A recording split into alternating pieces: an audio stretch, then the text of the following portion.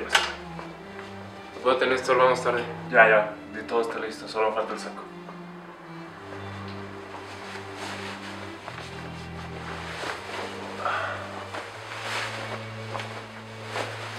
Muy bien, vamos.